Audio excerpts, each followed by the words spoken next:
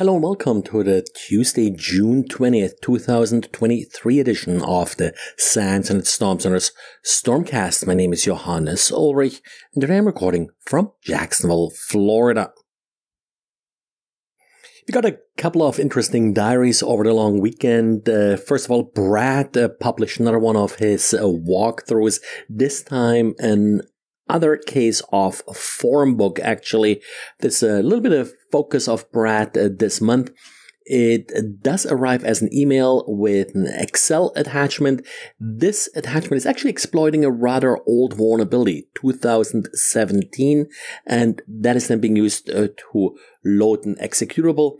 This executable will after a reboot, uh, because that's sort of how it makes itself uh, persistent, also download an base64 encoded DLL that then loads Formbook.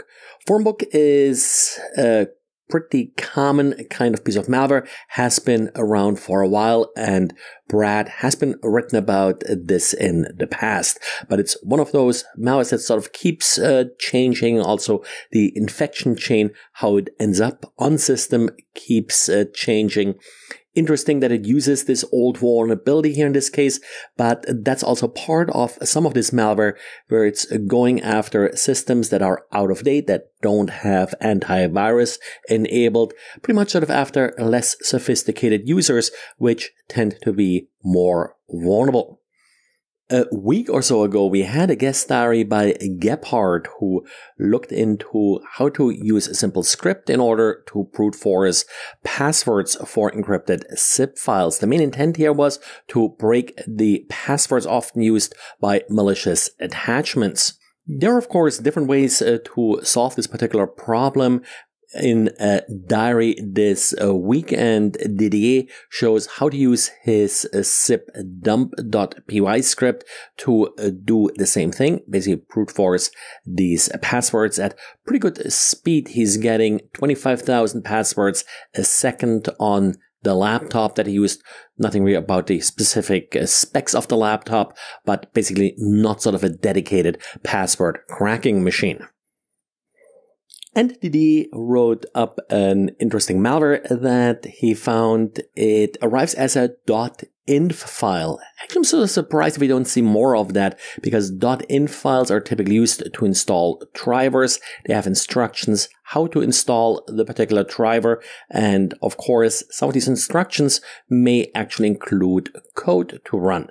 The particular section of interest here is the run pre-setup command section. So before the actual file is being set up, uh, you can run an arbitrary command and the attacker apparently is using it here to run PowerShell and with that download additional code and then execute it. Xavier also provides additional details like what the particular PowerShell script exactly does and uh, what it installs. So refer to Xavier's diary for details. And we got an interesting blog post by Frycos. Uh, this uh, blog post has details regarding uh, two vulnerabilities in FortiNAC. And now this blog post was uh, prompted uh, by earlier releases last year about vulnerabilities in the HTTPS service of FortiNAC. Frycos here uh, took a look at some of the other services listening on FortiNAC and found these two additional vulnerabilities. In order to be actually exposed to the vulnerabilities, you have to open up port 1050 and 5555. These are the servers that are vulnerable here. A patch was apparently released by FortiGuard in April, but this patch did not actually acknowledge these two vulnerabilities. So be aware that there are some important or actually critical vulnerabilities that are being patched here. These ports are usually not exposed, uh, so you may be lucky here in that uh, you're not exploitable uh, if you're not exposing these these ports.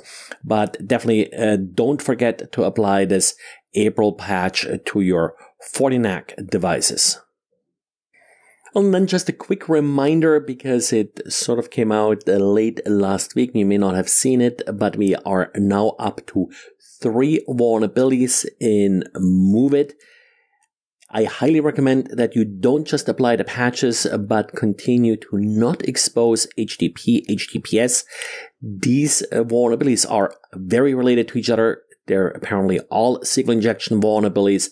I would not be surprised at all to see more vulnerabilities like this uh, coming up in the next uh, couple of weeks. So be careful with exposing MOVEit, even if it's completely patched.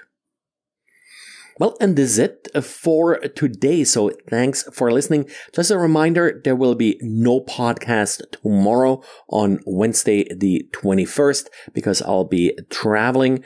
So uh, talk to you again on Thursday. Bye.